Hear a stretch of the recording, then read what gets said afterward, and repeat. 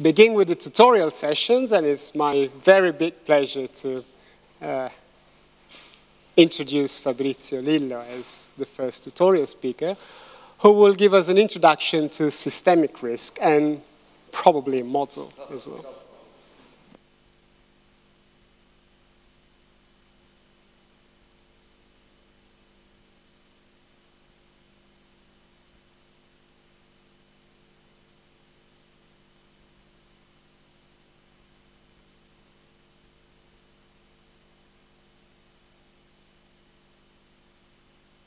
Yes. So I'm going to talk about systemic risk, and I'm going to give a half tutorial, let's say. Um, and so the first part of the talk will be about a tutorial about systemic risk, because I guess that at least some of the people in the audience are not familiar with systemic risk.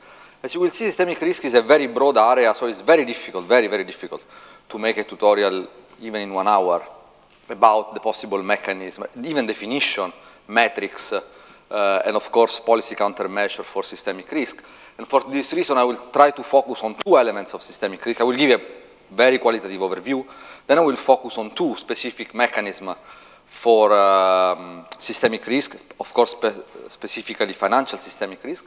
And then I will try to use these two elements to um, present a model in which you, some of the people also in the audience have worked recently here at the Scuola Normale, presenting some uh, some results. So where these ideas are put down in a, in a more quantitative model. So this essentially is the, oops.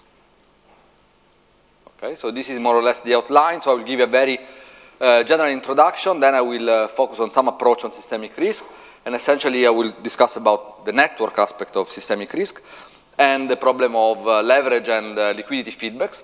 And then I will present uh, a model, which is a model developed together with Fulvio Corsi and Stefano Marmi uh, last year. And if I, I, hope to have some time to present some um, uh, work in progress, let's say now consolidated work in progress by Piero Mazzarisi on an extension on this model where the expectations of financial agents plays an important role for financial stability. Um, so systemic risk uh, is very vague term, and if you try to look for a formal definition, it's not very easy. I will give some definition, let's say, of systemic risk. It's one of those topics which are very interested, but exactly for this reason are very difficult to define. And um, of course, it is very timely topic given the, the, the current economic and financial crisis. And uh, okay, the general idea, if you want, is that you have systemic risk when uh, um, the interaction of different individuals, agents in a, in a system, uh, acting and optimizing, let's say, locally their um, uh, objective, uh, tend to give an extreme behavior at a system-wide level, which cannot be anticipated, let's say, from the individual behavior. So I'm, I come from physics, from physics originally. This is what in physics is called an emergent phenomena. So which means something that where a collective effect where uh, you cannot uh, predict, that you cannot predict only by looking at or describing the, the, the, property of the individual, which is very typical essentially what happens, of course, uh, uh in economics. And so, so, there are a lot of examples of systemic risk, and uh, they go from, uh, from global climate to ecosystem. There is a huge literature about systemic risk in ecosystem and fisheries in particular. epidemiology, of course, and technological infrastructure, like, for example, electrical grids, internet. Of course, you can expand as much as you want. You know, collapse of societies, for example, is a typical systemic risk. I'm not going to talk about this. And of course, our focus will be mostly about financial and economic system. And of course, the, the, the big challenge from some point of view is try to see if there is some, some, some common principle at work in all this system, which maybe is a bit ambitious in some sense. But, you know, uh, this is what some people are trying to do. Uh, what are the symptoms, let's say, of systemic risk? Well, this, of course, is also very ill-defined uh, um, uh, question in some sense. But uh, let's say if you look for the words that appear more frequently when people discuss about, uh, you know, okay, we are, in, we are uh, looking at some systemic event or we are close to a systemic risk event, well, essentially is what is called tipping points or regime shift, depending on uh, the field you are coming from. So when the system change abruptly, the statistical properties change abruptly the, the, the, the model itself where, that describe uh, the system. uh, there is a system where you have multiple stable state, and then one of these shift is essentially explained by uh, moving from one stable state to another, but you know, uh, different, uh, very different from the from the previous one. You start to have sensitivity to to, to small perturbations, so some perturbation which were perfectly absorbed by the system becomes to be uh, to to introduce very large fluctuation. I will show some example at the very end of this of this talk. There is in general an increasing correlation both between elements of the system and temporal in some sense. So a system that typically dissipates very quickly shocks, okay, this is related, or where elements are not very correlated one with each other, start to become extremely correlated and act in a synchronous way, but for reasons which are not, let's say, uh, so simple to explain. Uh, you have a very slow relaxation to shocks and back to normal behavior. So this again, so not only that uh, um, you have sensitive to, to, to small perturbation, but if a, a, a, relatively large movement occur of whatever, the price, the population, depending of course on the system, then of course the time it takes the system to go back to the normal state, it can be very long. This is what uh, in uh, engineering is called resilience of a system, so it's the way in which the system is able to absorb uh, the shocks, and typically systems which are very close to, to uh, systemic event are very slow to go back to normal behavior. And then you, you have other effects like path dependencies in hysteresis, so you go from one state to another, and when you, you, try to go back by changing the parameter, you don't go back to the same state, or you don't follow back the same path you were following the first, but you follow a different path. So hysteresis is, is a, is a um, term which is, it is, as far as I know, it was introduced in physics for magnetism, but then it's been observed also in economics and social systems. Um, what are the possible origins? So it's very, very vague. I mean, what, first of all is the system organization. Here there is a lot of, in the recent year, a lot of interest about the problem of how the system is organized and how it is prone to the um, uh, existence of systemic event. So clearly, as we will, as will comment uh, in a moment, this is related to the network of interaction among agents, so the way in which agents interact one with each other. Very often the assumption that uh, you have a, what is called a uh, mean field uh, um, interaction meaning that everyone interacts with everyone, is, everyone else is not observed, and the, the, network, the structure of the network can create uh, um, systemic risk. Then, of course, you have the problem of heterogeneity and homogeneity of the elements of the links. I mean, in economic and financial system, for example, you have a very strong heterogeneity in terms of size, for example, of different actors. And this is very often has been, let's say, um, uh, not considered properly in the modeling, but nevertheless, you know, the fact that you have this large heterogeneity can play uh, an important level. And then you have other, other possible uh, elements related to system organization, such as the fact that the system is organized to, addre to, ad to address high frequency, low amplitude events. So it is designed, okay, in general sense, maybe evolutionary design, not necessarily design on purpose, uh, but they become more susceptible to low frequency, very high amplitude events. So there is a mismatch between the design and, and, uh, and the events. Then, of course, you have feedbacks. I'm going to talk about feedback in a moment and nonlinear mechanism. You have un unobserved linkages between elements. Very often you have, uh, so the decision that financial, for example, investors have to take uh, are taken with a very lack of, uh, with, with, a lack of uh, of information about the system and about the linkage about the system. Things in terms of when a bank lends the money to someone else but doesn't know what are the, the credit linkages of the, of the, uh, of the, um, of the uh, debtor with the rest of the world. So you don't know how the, uh, the decision of not uh, roll the debt is going to propagate in the system, and because you don't have this observa obs enough observability of the system. You have, of course, aspect of behavioral aspect about how people react, and biases, and in general, coordination failure. Uh, so in finance, of course, uh, systemic risk is one of the hot topic uh, nowadays. And uh, okay, I was trying to look for some definition of systemic risk.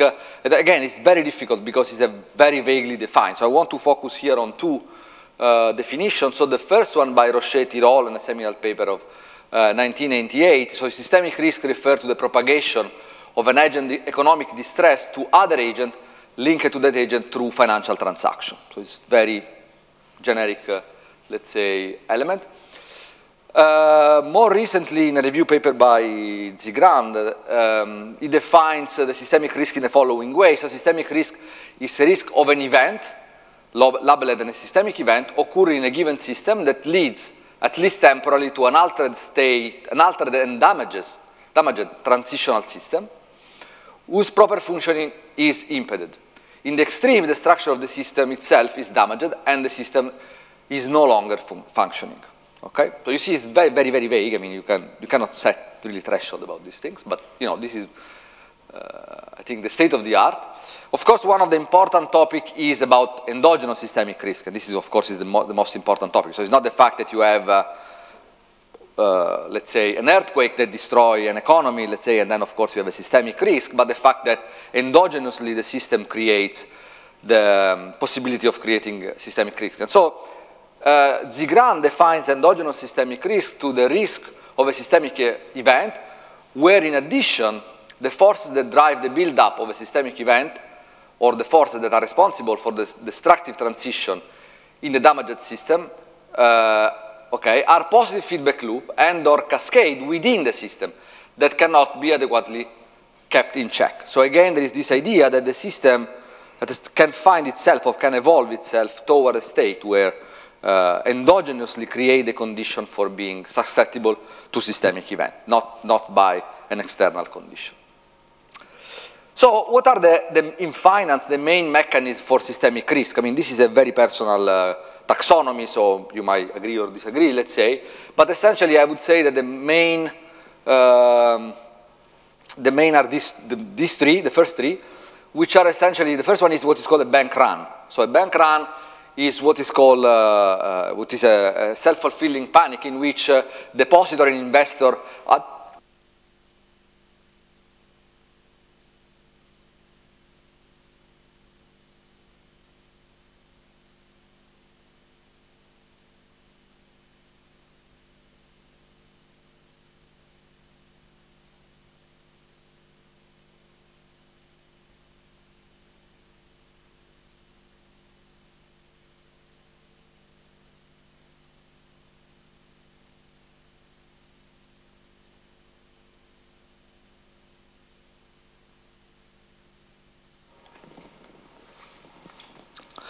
Um, the second uh, mechanism, okay, this, is, this has not been observed so frequently in recent years exactly because the countermeasure that uh, financial regulators are taken, at least not from, you know, uh, consumers, but maybe different types of bank runs have been observed even in the recent subprime uh, crisis. That the second mechanism is what is called a common asset investment. So the fact that uh, um, that, that different investors are exposed to similar risk, risk factors, so there is not enough, enough diversification or enough difference between the portfolio composition of different investors, and therefore any shock, especially in presence of feedback, can create uh, uh, a collapse because all the portfolio and all the risk management are essentially the same. So there is a synchronization, let's say, uh, unwanted synchronization of the portfolio holdings and of the um, uh, risk management strategy that create the synchronization effect. So part of the model I'm going to show is exactly about this.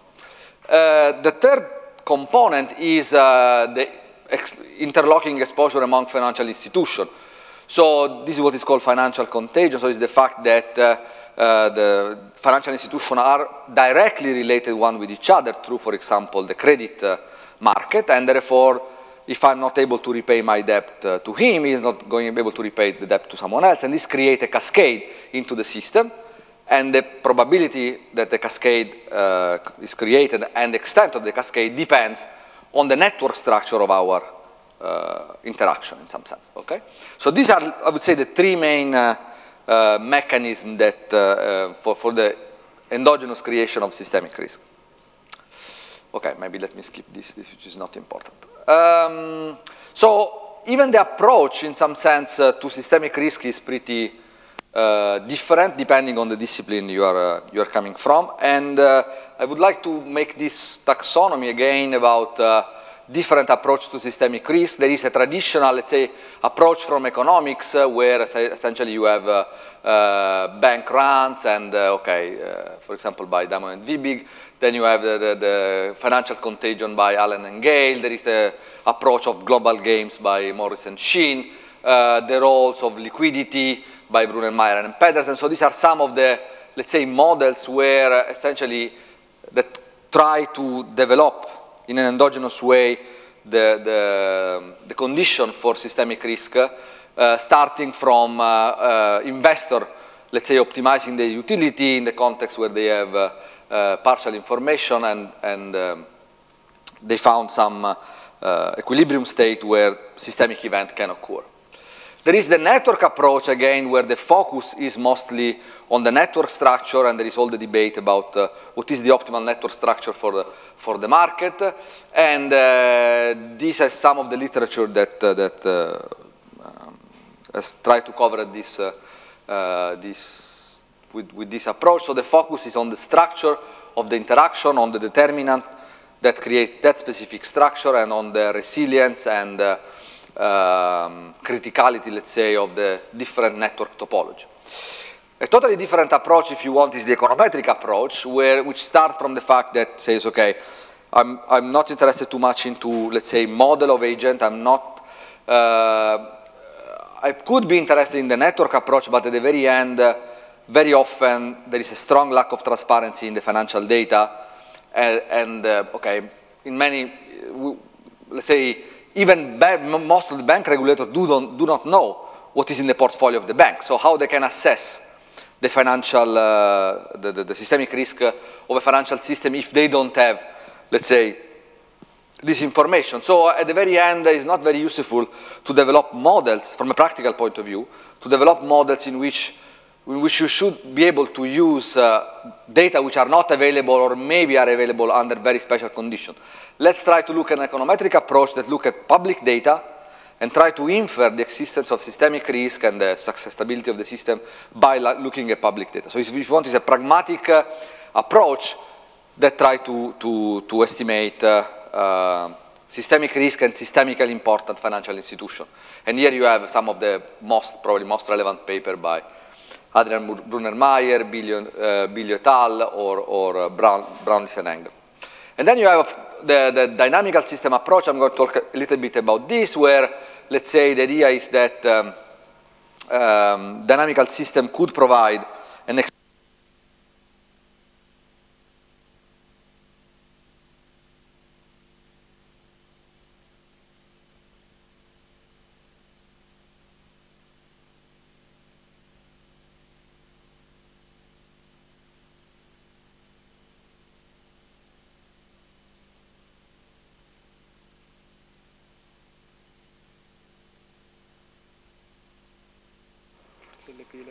Okay. Okay, so I don't think I need to, to spend too much time about networks. So a network uh, is simply a graph where you have a, a, a group, um, uh, where you have a couple of sets, V and D. Um, and V the, are the nodes and D are the, are the links, and the network can generically be uh, a binary undirected network if uh, E is a set of non-ordered pairs. So uh, simply you say that one element is connected to another element. If there is a direction, then you have a uh, between one and the other. Let's say, for example, things in terms of credit. Okay, I, am I'm, I'm lending money to, to Giacomo, so there is a direction between me and him, and this is what is called a directed network. And if I want to take into account also the amount of money which is uh, uh, which I'm lending, this is what is called a weighted network. Uh, in particular, what I'm going to focus uh, later in, in, this talk is about what is called a bipartite network.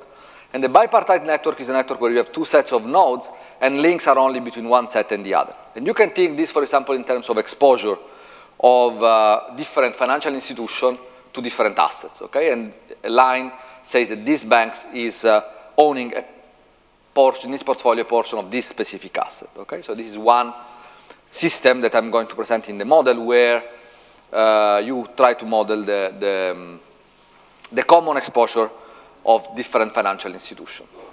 So there are a lot of financial networks and recently there has been a huge literature about uh, the role of financial networks uh, into systemic risk. Here is a list of uh, some of the networks, financial networks that have been empirically investigated and where modeling has been proposed.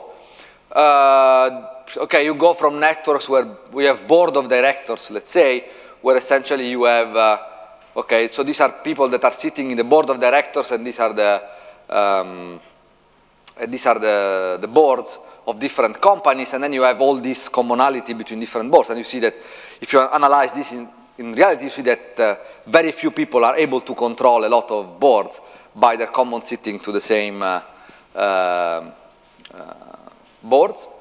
Uh, the same is what is called control network, where you have who is controlling a given companies.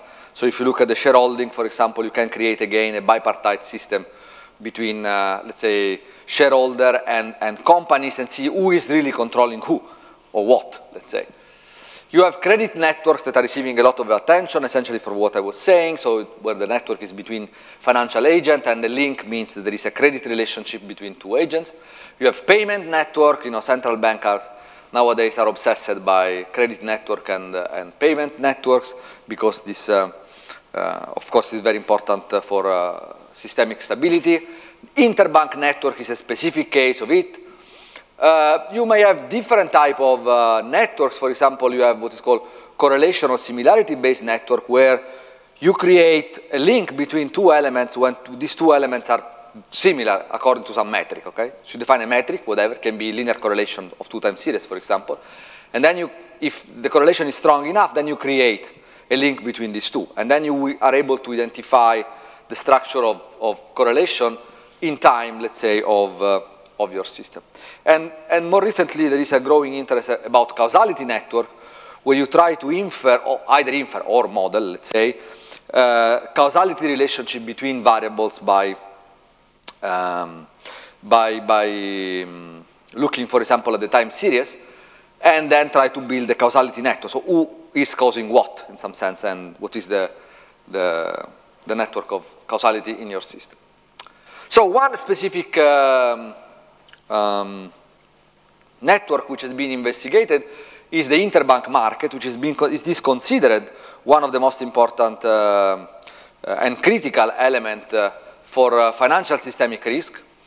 And the idea is that uh, it is, it is well known that banks establish a mutual credit relationship with different maturity and collateral in order to fund themselves uh, or to use excess liquidity. So in order to so when, they, when, when a bank um, has, is in liquidity shortage, then try to find liquidity uh, in the interbank market, and on the other hand, if there's too much liquidity, uh, then try to uh, offer liquidity into the market. And uh, this, this market allows the, the financial system to, to cope with uh, liquidity shock. And uh, it is very important to consider the plumbing of the modern financial system.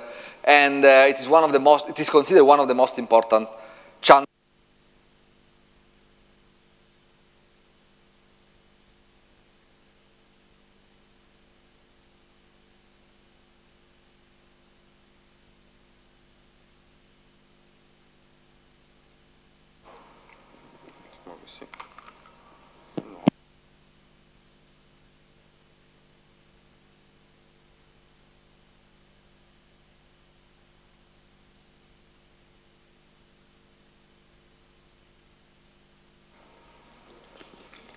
cambiamo tasca, dice. No, sarà questo. Questo lato è...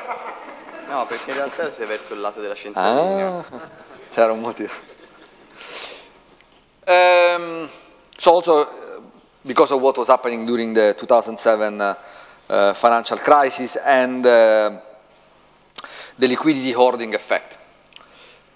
So there is a lot of study try to look at the interbank network. So these are two snapshots from the Austrian interbank market and the Brazilian uh, interbank market. Each, uh, each node is a bank, and each links means that one bank is, uh, is um, lending or borrowing money uh, to another bank. As you see, the, the structure of these networks uh, is not at all, okay, if you are an educated eye, let's say, this is not at all a random network as you expect from, I don't know, Erdős-Renyi random graph. And in fact, a lot of literature have tried to investigate uh, uh, what are the main properties of this uh, interbank network. And this is just a list of the property which are present. Well, for example, the interbank network is, very, is not very connected. Okay, so despite the fact that you would like to spread your risk uh, with many market participants, and maybe this would be optimal, at the very end, only 1% of the links are present. So it's a very sparse graph in some sense.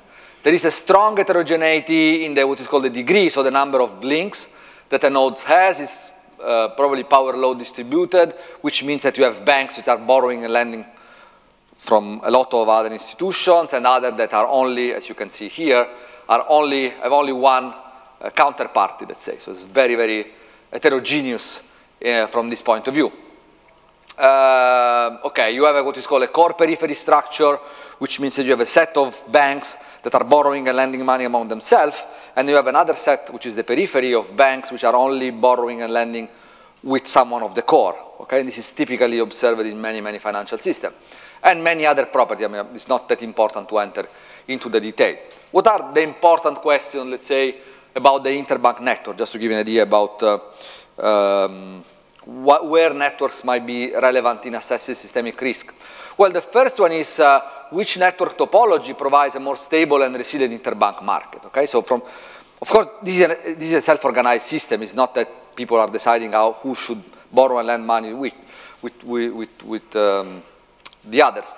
Um, so the, the question is, however, how to create incentive from the point of view of the regulator and the central bank to, to design a, a, network which is more uh, stable and resilient.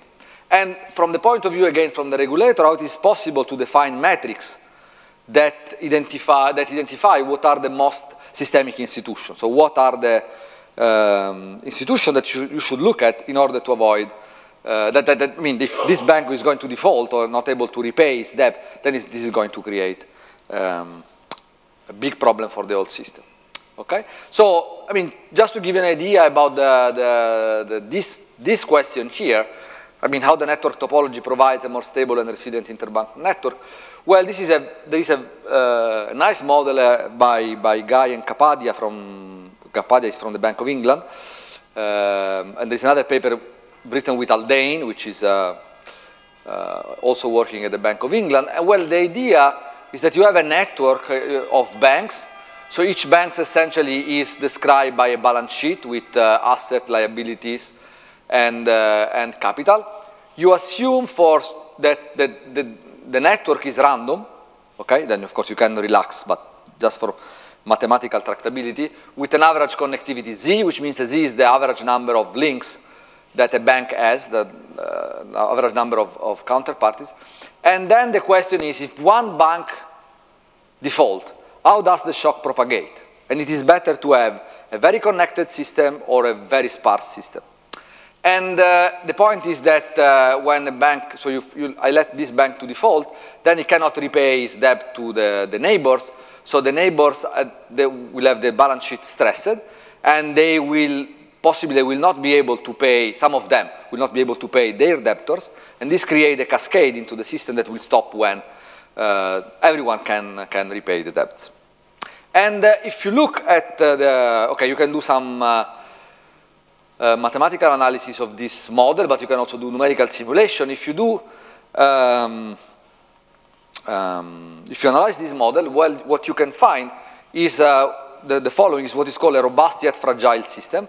So when you change the average degree, so the connectivity of the system, so you increase the number of banks, what's happening is the following. So that, so this one, this, this line is um, um, uh, uh, the extent of contagion. So how many banks are going to be affected if a random node default.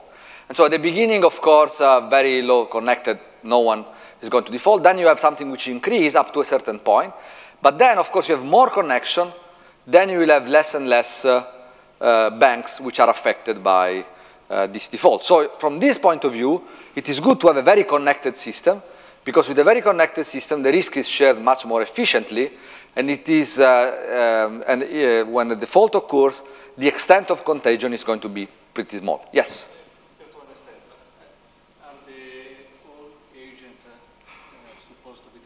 Yes. In this model, essentially, this is where the homogeneity, heterogeneity is not present. So everybody is the same. Everybody is the same. They try to do they try to do some numerical simulation with heterogeneous, but of course then it is very uh, you know what you get depends on what you what you put. I mean, you don't get numerical uh, exact result about this. So the, uh, then the issue is uh, how structural are the links in the sense uh, because the, if the links are just uh, just record a transaction, it's a choice. so it's not a structural constraint. You know? It's a structural constraint in the sense that uh, depends on, uh, so if I default, well, depends, I, I have some uh, interbank uh, liabilities, okay? I'm a bank, I have some certain liability with other banks. And the way in which I'm going to affect other banks depends on how many neighbors do I have. If all my liabilities are only against you, if I default, very likely you are going to default. If the liabilities are spread across all the people here, okay, each of you is going to be affected a little bit, but it's very unlikely that, that you all, some of you is also going to default unless you are very close. But the formation of the network was uh, a matter of choice, not But the, the of formation of network in this model is not existent in the sense that it's just a random network. Okay, they changed the topology, I have to say. But let's say in the, in the result that I'm showing, this is just a random network, just to, to get to the point in some sense. So this is just a random network. There is no formation of uh, no, no network formation, which by the way is a very important topic. I know very few papers that point to the problem of how the interbank system uh, is formed and why, for example, it's so sparse, okay, despite the fact that you could uh, um, lend and borrow money to many investors. So here, the network is given, okay? Uh, then I guess they calibrated this model or they used this model in the Central Bank of England uh, data where they have this information. But they don't, this is, this is what I know, but it's not in the paper, let's say. Okay? So there is no, so the point is, the point is, the network is there.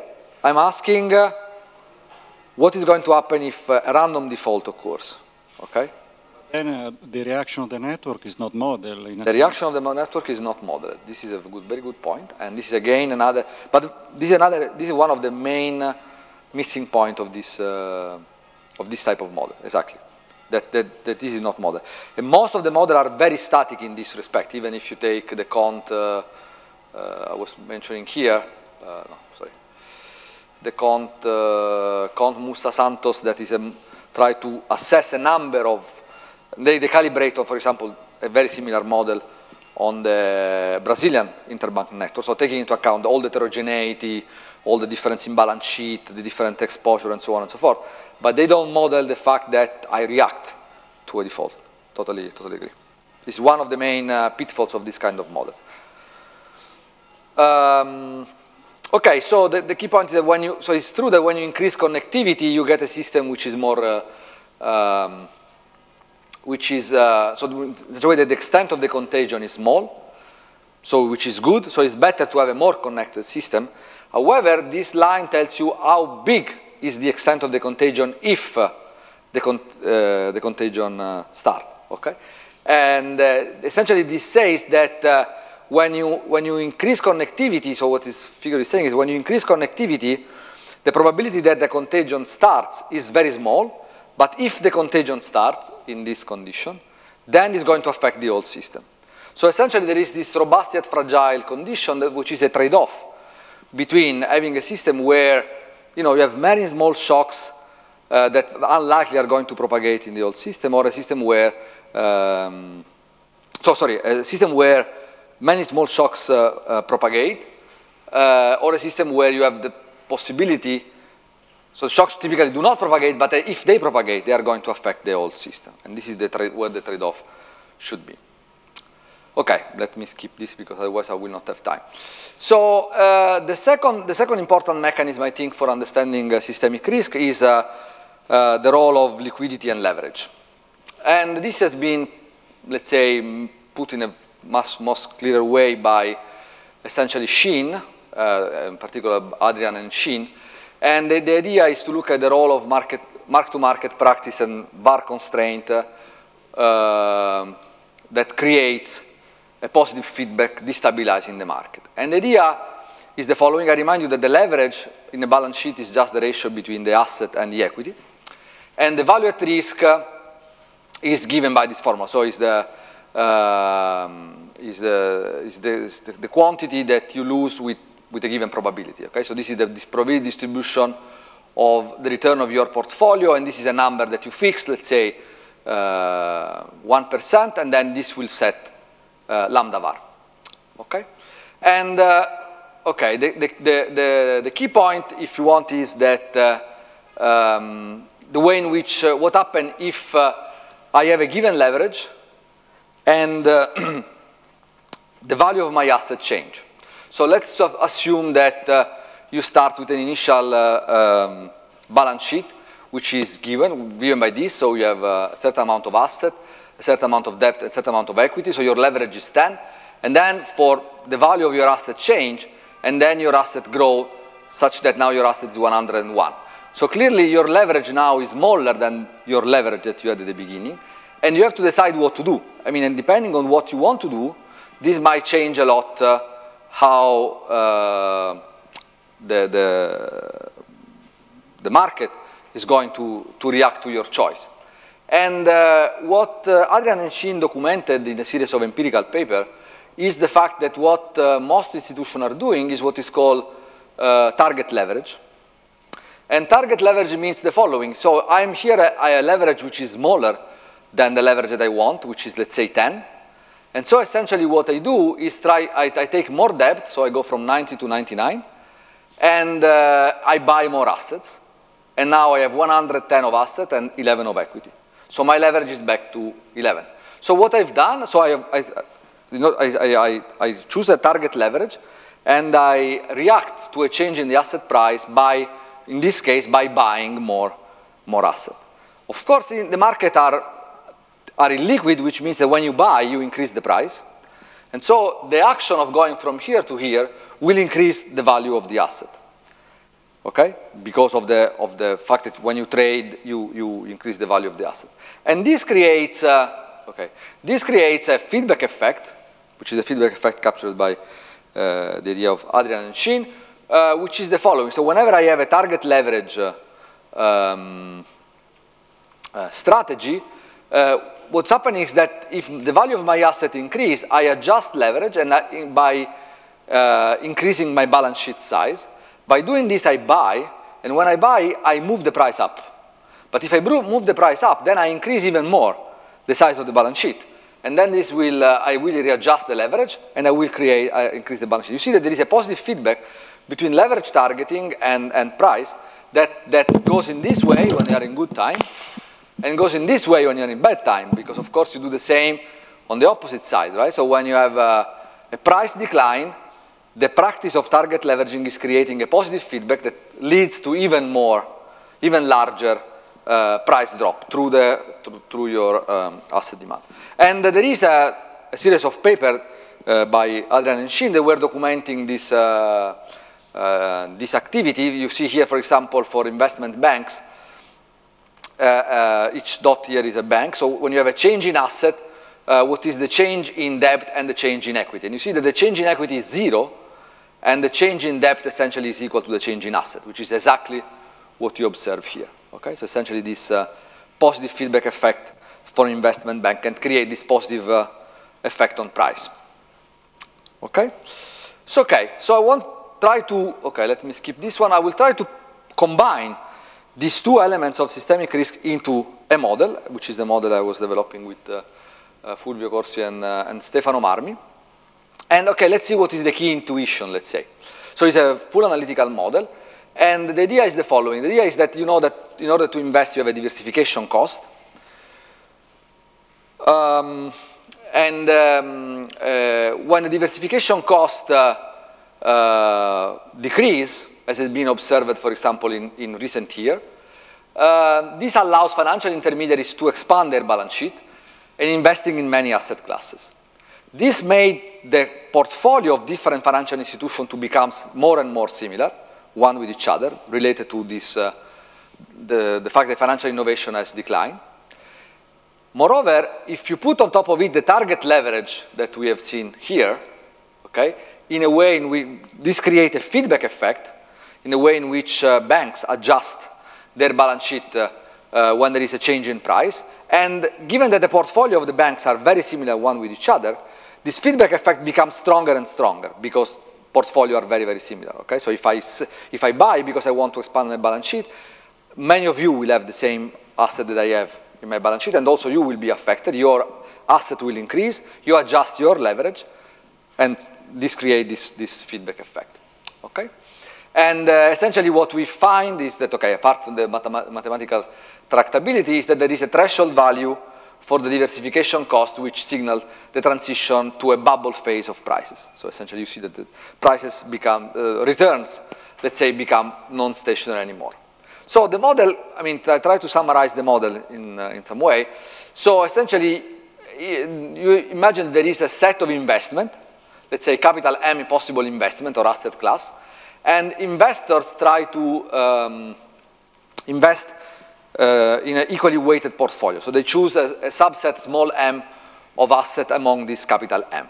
And there is a cost of diversification that tells you, okay, if you want to invest in a new asset class, then you need to pay C, okay, because you need to put the trading desk, all the auditing, all the regulation, and so on and so forth. And okay, you have some expected return, and then you have a VAR constraint. And the VAR constraint tells you that your value at risk, which is the alpha, which is a parameter of the value at risk set by the regulator, time the volatility of your portfolio, time your asset, has to be smaller or equal than the equity. This is the value at risk. Okay? So the investment set, as I said, the possible investment set is composed by M, capital M uh, investment. And uh, the, the, the, the, the, the, the, the exogenous uh, return dynamics, let's say, is given by one factor model. So there is a one factor that affects all the investment plus an idiosyncratic term. And so the volatility of one asset is the sum of two terms, so one term which is systematic and one term which is diversifiable. All the assets are the same, all the banks are the same, so we are, it's a model, so we are neglecting all the um, uh, diversity, let's say, in the system. So the, the, the, the if I invest in M asset, then the volatility of my portfolio is given by this. And okay, as we all know, the, the larger is my uh, portfolio, the more, the more asset I'm investing in, the smaller will be the risk of my portfolio, so I can uh, increase my, my leverage. Oops. Okay, so there is essentially an optimization that uh, the portfolio manager has to do to decide on how many assets to invest and which leverage to take. And at the very end, what it has to do is to, uh, let's say, maximize uh, the expected return under the value at risk constraint, okay, which is the following. And essentially, okay, you can, you can do the computation. We introduce the lambda, which is the ratio between assets and equities. So you have to choose on how many assets to invest and which leverage to take. I mean, how, how, how much to be leveraged once I have set the, um, the value at risk constraint. In the expected return, I have one term which depends on the the expected return of the asset plus a term which depends on the diversification cost, so how many assets I'm investing in. The more, the more, the larger is M, the smaller will be my return because I have to invest in a new asset class. Okay? So you can solve the problem. It's a very simple uh, uh, problem. You can find what is the optimal leverage and what is the optimal value of M. And clearly, the optimal leverage uh, depends inversely to the volatility of the portfolio and uh, level of diversification depends inversely on the cost of diversification, okay, which for, the moment, for which is taken as constant.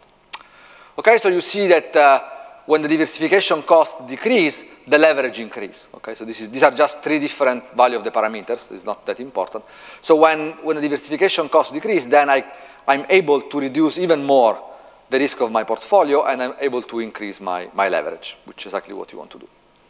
Okay, so essentially if you want to have a cartoon, you have n financial institution, you have m investment, let's assume that m is equal to 3, this is the solution for our problem, and so each institution is investing in uh, three uh, investment. And then you can define the overlap between the portfolio as the number of common assets between two institutions. So in this case, the overlap will be two-thirds. Okay, an overlap equal to one means that we have identical portfolio.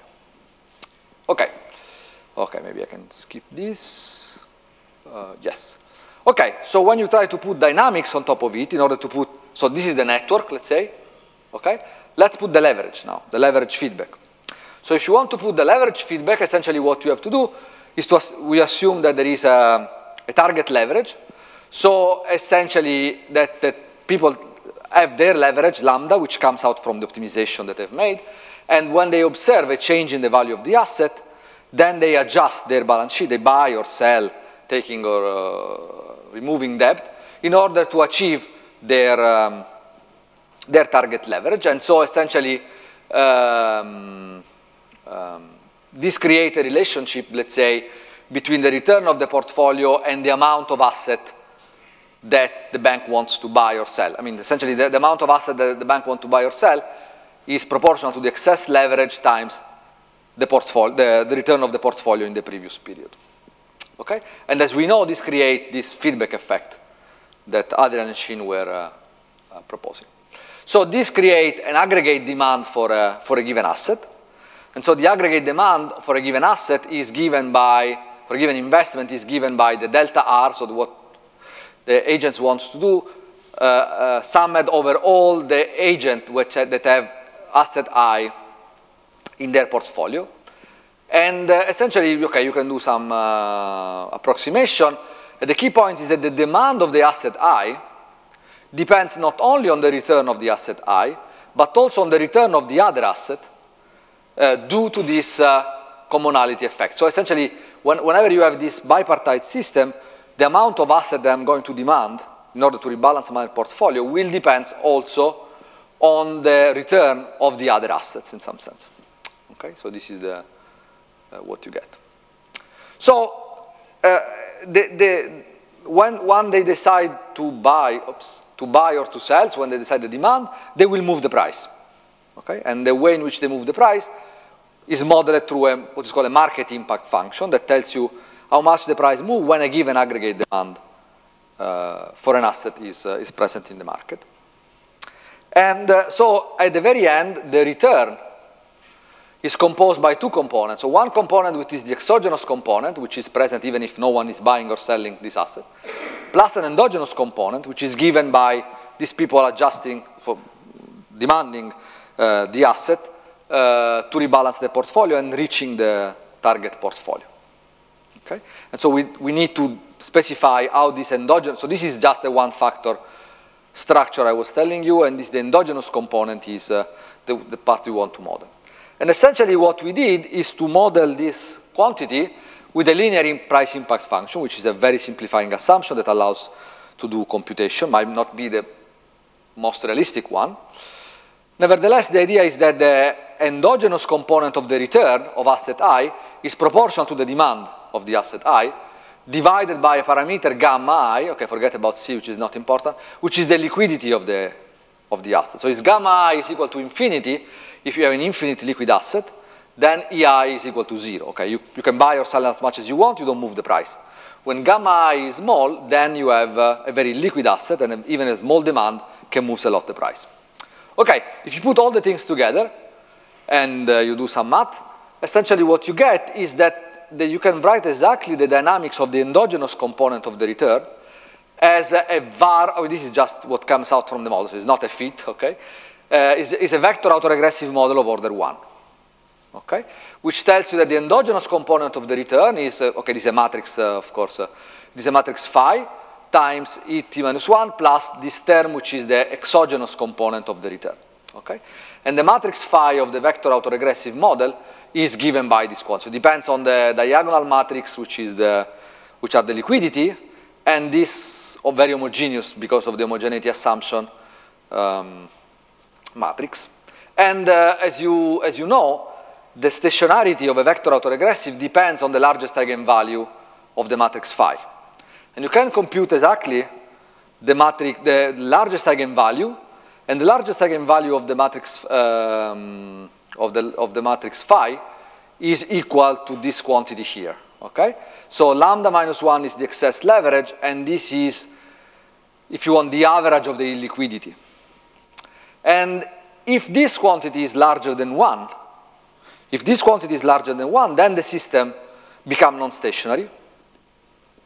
If this, is, if this is smaller than 1, then you have a stationary vector autoregressive model for the returns, okay? And the system is stable.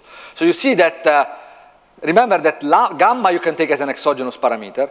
Lambda, it is endogenous in the sense of the, for example, the diversification cost. So if the diversification cost decrease, lambda increase, and if lambda increase at a certain point can reach the point where this product becomes larger than one and the system becomes unstable and uh, there is, a, there is a, a bubble. Okay? So this is essentially what you have. So as a function of the diversification cost, this is the maximum eigenvalue of the matrix of the vector autoregressive. And you see that when you decrease the diversification cost, okay, the, the maximum eigenvalue increase up to when the value 1 is reached. At this point, the system becomes non-stationary. The same you can see from the point of view of the portfolio overlap. So on the similarity of portfolio, this is what I was mentioning before. So if the portfolio are not very similar one with each other, everything is fine. But as soon the portfolio becomes more and more similar, there is a point where they are, they are not identical, but they are similar enough that this feedback effect leads the system into a non-stationary phase. And then you have a bubble in finite time. Okay. Okay, I can skip. This is not important. You can compute everything. It's not, uh, uh, this is not very important. I cannot even read. So I, I guess you, if I cannot read, you cannot read. uh, you can compute the variance, the covariance, and so on and so forth, and then, which means that when the leverage increase, then the variance and the covariance uh, of the endogenous return, so assets become more correlated one with each other due to this uh, uh, internal feedback. Okay? And so at the very end, the variance of the portfolio, which is the, the key important point, is uh, composed by an endogenous part, which is given, and a part which is uh, exogenous, an endogenous part, which can be computed uh, exactly, which is the part that describe, describes uh, the effect of this synchronization uh, in the demand. Okay? Yeah, so you see I like, I like this picture because this shows you the variance of the portfolio as a function of diversification cost. And you see that this is non-monotonical in the sense that it decreases and at a certain point it increases. And of course here you have the transition to the non-stationary phase where the variance of the portfolio is infinite, of course. And you see that you know that diversification is good, right? Markowitz tells us that diversification is good because when you diversify, you decrease the risk of your portfolio. And this is true up to, a, if you don't have feedback, up to a certain point, meaning that here, if you decrease the diversification cost, then you can invest in many assets, and you can decrease the variance of your portfolio up to a certain point when the feedback effect becomes so strong that increasing even more, uh, decreasing even more the diversification cost and enlarging even more uh, the, the, your investment uh, uh, set, then this will create an instability. So essentially here is the Markowitz, uh, let's say, area, and this is where the feedback becomes more important than the, the effect of Markowitz in some sense. Okay, let me, okay, let me skip this one. So I want just to have the last five minutes to, to discuss about uh, a recent extension about this model. Also, it's the first time I'm presenting this, so I'm happy to, uh, to do it. Um, so in the model so far, we have seen that when you decrease the, the diversification cost, you increase the number of assets in which you can invest. This can decrease the volatility of your portfolio. This increase the leverage, and this, of course, increase the asset. And this explain, if you want, the expansion of the balance sheet of the financial system. Kind of could explain the expansion of the uh, balance sheet uh, of the financial system. So in the model, however, the some of you might have noticed, one of the main problems is that uh, financial institutions do not really consider their own effect on price when they trade. Okay, they decide to adjust, they adjust their leverage by taking into account only, let's say, the, the, val, the fundamental value. If you want, they are fundamentalist in the, in the sense of risk. So they take into account the fundamental value of volatility and correlation, and they use this to create expectation and to, to, to build their own portfolio. And this creates this VAR1 model. So the point is, what happens if we change the expectation formation mechanism of, um, of agent? And this is, I say, is work in progress by uh, Piero Mazzarisi.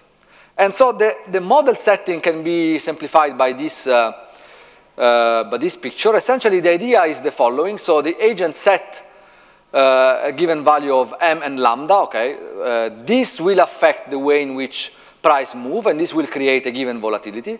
And then at time t, essentially what they do, they create an expectation about the future volatility and correlation about their asset, and based on this expectation, they perform the optimization we have seen so far. Okay? And of course, you can change the different way of uh, creating expectation, and in this way, now m and lambda, which were constant in the previous model, becomes a dynamical variable that, that change with time. Because at each time step, depending on the expectation that they have for the future, they will uh, adjust their leverage and they will adjust their M. So essentially, okay, here we made the assumption that there is uh, no systemic factor, all the assets are uncorrelated one with each other, so the volatility of the portfolio um, is simply given by the volatility of the asset divided by the number of investment. And uh, we have already seen this formula. The volatility of the portfolio is composed by an exogenous component, which is this, plus an endogenous component. So essentially, what the agents do, they look in the past, so they're backward looking. They look at the past, they look at the previous uh, volatility of their portfolio, and they create expectation about, through this formula, create expectation about the volatility of the asset in the future period, and then they perform the optimization. Okay, so this is what they do. So at the very end, this can, turns out to be a dynamical system where the variable are the number of investment, the leverage, and the expectation, so there is a E here, the expectation of the volatility for the, for the next period. Okay? And this, of course, depends, depends on the, on the way in which they form expectations, so depends on the previous value of m and lambda, and of course depends on the ugly formula I was showing you about the endogenous component of variance and covariance of the asset. Okay, so I'm not writing the whole thing, but this is the idea. Okay, so essentially it's a dynamical system that you can study. So what are the expectations? So we investigated two different types of expectations. So the first one is what is called naive expectation. So essentially agents, what they do, they assume that the volatility, the expected volatility in the next period is equal to the past volatility, the, the, the previous period. Okay? So they look at the previous period, they compute the volatility of their portfolio, they extract the volatility of, their, uh, of the asset, and they assume that this is the volatility they will observe in the next period. Okay? So this is naive expectation. And uh, okay, of course you can, this is a dynamical, oh, sorry, this is a dynamical system where you have two control parameters. One is C, which is the diversification cost, and one is alpha, which is the parameter of the value at risk. And you can change one of the two, I mean, it doesn't matter. I will mostly show figure in terms of C, but you can think in terms of alpha. Take into account that both alpha and C, in principle, are parameters that the central, the regulators are able to set. Well, the alpha, obviously, because they require a given 99% versus 95% value at risk uh, requirement to the banks. And C, because of course they can uh, impose extra cost to the institu financial institution uh, in order to expand their investment class to new asset class, for example, by having more um, uh, validation desk, uh, risk desk, and so on and so forth. Okay, if you look at the naive expectation, what you get is the following. So it very much depend on the parameter C. So if the parameter C is large enough, well, essentially what you get, so this is the, the value of the leverage. Um, you can get the same for the, diversific for the diversification. So if, um, if C is, the diversification cost is large enough, then the system, okay, can start from wherever you want and then converge to uh, an equilibrium. However, if the cost becomes small before the system becoming non-stationary, okay, so we are still in a stationary regime of the previous model, essentially what you start to observe is a two-period uh, oscillation. So essentially the system goes from period of very high leverage to period of very low leverage and high leverage, low leverage, and so on. High diversification, low diversification, and so on and so forth. Okay, the system have this uh, two-period orbit uh, uh that you can observe, and in fact you can draw the, the bifurcation diagram, which is uh, uh, where, okay, these are different quantities, so this is the leverage, this is, uh, this is the volatility, if you want, uh, and this is the correlation between different assets, okay? And this is the same leverage, but as a function of alpha. Alpha is the parameter of the value at risk. So if the cost is large enough, okay, let's do it here, or if alpha is large enough, so it's very conservative value at risk, then everything is fine, things go back to a stable state. But at a certain point, you have a bifurcation, and the system has two stable state, two state and a two-period uh, um, oscillation between these two values. You go from large to small values of the of everything. You know, high volatility, low volatility, you know, alternating one with each other, or high correlation, low correlation, up and down. So, okay, some uh, some comments. So there is a threshold in which you have this. Uh, um, this um, bifurcation appears, uh, there, is a, there is the second threshold, that the, the previous one that signaled the transition to a non-stationarity. This is what is called a period doubling or flip bifurcation. And the value of this, uh, the, the, point where FDC grows with the illiquidity. Okay, so I, in this thing, liquidity is kept fixed. Okay, the gamma is fixed. But you, if you can change liquidity, then you can see in such a way that in a more illiquid market, the transition occurs for large and transaction costs. So you don't need to go to very small transaction costs to see liquidity. So if you uh, in a very liquid market, this transition can occur early. Or you can see from the other point of view, at a certain point, liquidity conditions change abruptly, right? Because uh, of some reason, then essentially you jump from this state to this state, fundamentally. You go from uh, this to this. Okay, let me skip this one. Of course, there is a problem, and the problem is, as, always with the naive expectation, is that these are errors which are very difficult to justify because uh, if you look at the autocorrelation function of the forecasting error, so what they forecast for the volatility of the portfolio minus what they observe for the volatility of the portfolio, in the uh, two period orbits, these are strongly correlated, which means that they systematically make a mistake and they could spot they are doing a mistake, right? Because they, if you look at the correlation of forecasting error, they see that things are going up and down, so they, they could do better. So this leads us to, two minutes, to the, to the adaptive expectation. Huh? Minus two. Okay, to the, to the adaptive expectation.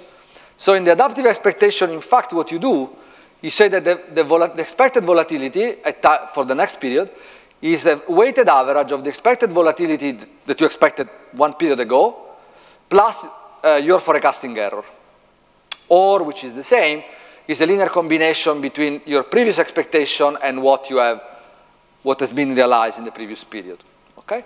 And this can be recast also as an exponential moving average uh, of the past volatility. Okay, this is just a recursive equation, which essentially means that you estimate future volatility by looking at an exponential average of the past volatility, which is exactly what you know, RiskMetrics is doing at the very end. Okay, this is just, maybe they are not using, okay, RiskMetrics was using exponential as far as I know. More sophisticated people do not use exponential, but essentially you do an exponential moving average of the past volatility to forecast future volatility. And if you do this, well, nicer thing occurs. So this is the dynamics of leverage. Okay, so this is uh, for different value of the diversification cost. So here you have a four period orbit and here you have uh, MS. But it's not really MS, it is, it is chaos. Okay, so this is really what you get. You get that, uh, okay, I don't know, here something happened. Uh, so this figure, but this is the same. This is a function of alpha, or the value at risk. So if you increase the alpha, the parameter alpha of the value at risk, or if you decrease the diversification cost, at a certain point you start to have a bifurcation cascade. And you have a transition into chaos. And okay, I can maybe I can skip this. So you can compute entropies, you can do all the things about um, uh, um, so that you have a, um, uh, you can compute the Lyapunov exponent, Kolmogorov-Sinai, entropy, and so on and so forth. Uh, so essentially, the, the, the, key point is that, um, okay, when you put adaptive expectation, essentially what you get is uh, that uh, volat volatility and leverage start to display uh, um, a chaotic phenomenon. Okay, I think this is, uh, this is the end. So, okay, coming to, to the model, so we have, let's say, a baseline model. And in the baseline model, the, the, this, there is this intuition of this feedback effect uh, led by the target leverage practice that leads to a multivariate VAR process with a maximum eigenvalue that signals the transition from a stationary to a non-stationary state. And um, when you include naive expectation, uh, then you have a flip bifurcation, uh, and you have a two period cycle with high and low leverage, or high and low diversification, high and low volatility, and things uh, do, let's say, uh, up and down. And when you do into adaptive expectation, you have a full uh, bifurcation cascade. And of course, small changes in the control parameter, C and alpha can trigger complex dynamics. I mean, okay, if you really believe in this model, maybe too much, let's say you can say the regulator, look, now, now if you take 95% uh, VAR, you are at 1.64 for these parameters, of course. So what happens if I uh, in, uh, change my VAR requirement instead of 95 to, I don't know, 99? So probably you will move from here to here or maybe to here. And then, of course, what, if you believe in the model, of course, this means that you end up your um, economy into a chaotic regime. But, of course, you have to believe in this. Okay, thank you.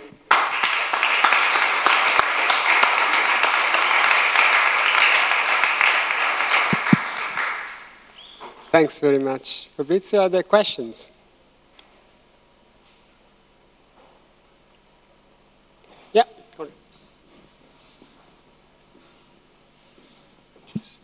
Uh, thanks very much. I, I was wondering in the first part of your uh, tutorial, you mentioned these broad questions about how to assess uh, network topologies and how uh, what's the ideal network structure. Uh, and I was just wondering whether you can say a little bit more about what kind of contribution your model makes to uh, to further uh, these questions. Is this supposed to be good at predicting certain things, or is this supposed to enhance our understanding of how we achieve a better network structure? So maybe you can say a few things along those lines. Okay, so um, so concerning to what uh, our model says about uh, the network structure, I would say so far very little. And the reason is that our model, in order to keep analytical tractability, uh, assumes a very, very simplified uh, network structure. It is a network structure, network, in this case, is a bipartite network structure.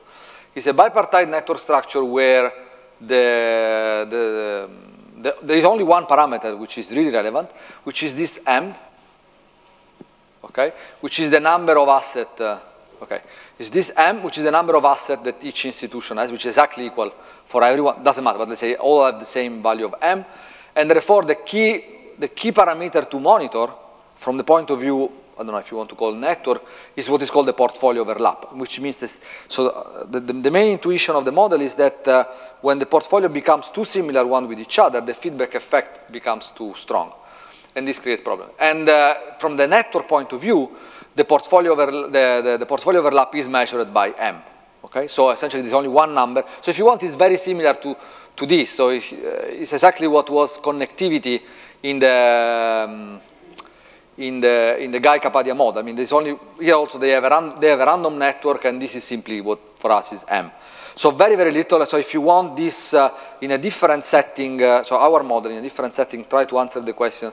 It is better to have a system where uh, you have a lot of connection or few connection. Okay, and of course, the literature about uh, networks, especially I have to say networks uh, of the interbank market, but not only, um, is, is very broad in some sense. And the key point is that, as reality is showing, the system is very far from a random network. And okay, there is a problem of why it is th- this way, uh, what is the, what are the network formation. And uh, there are a, a series of uh, methods that try to identify what are the most important nodes in the, uh, to assess what is the most important nodes. And uh, there is um, a, ten- a tension, let's say, or there was, maybe now it's less prominent, but up to a few years ago, there was a tension between two views. So one was the view what is called too interconnected to fail, and the one is too big to fail. So essentially, if uh, um, uh, uh, action from the regulator should target mostly large systemic institutions, large institutions, or they should be mostly on institutions which are more connected in a broad sense. Uh, at the very end, the two things are very often connected one with each other. If you're big, you are also very interconnected in some sense, with some exception, of course. Lehman was big, but was mostly very interconnected, Lehman Brothers, right? So this is not totally, um, this is not totally true. Um, so th- there are, there are, yeah, there are a set of metrics that try to assess. So essentially, from the point of view of uh, assessing uh, in real networks this problem, essentially what you have to do is try to identify what are called centrality measure in networks, like uh, between centrality, eigenvector centrality, page rank, which is the, you know, the one used by Google, try to identify what are the, the, the most critical one. And um, as I said, I totally agree with his comment, uh, which is the fact that all these things are very nice, but work in a completely static model without considering at all most, most of the, the vast majority of the case what, how, how the market would, how people would react um, in the case of, a, of an event. I have a textbook question Sorry. on the baseline Yeah. model. You, since you're very, very interested in diversification and Yeah. you want to be very optimal about it, Uh-huh. why not using a coherent risk measure rather than value risk? Yeah. Well, the reason was to try to stick at what uh, most people are using. Uh, Yeah, but you've got ba- Basel now coming in. No, no, sure, sure. Uh, no, that this could, could be one possible uh, uh, extension. The idea, of course, is that VAR is pretty it's pretty widespread and used. And But uh, it can give you wrong answers on diversification. yeah, yeah, yeah. This is true. I agree. Sorry? In a normal setting, Yeah, normal. Yeah, proportional to the variance, so it's the same Yeah. result.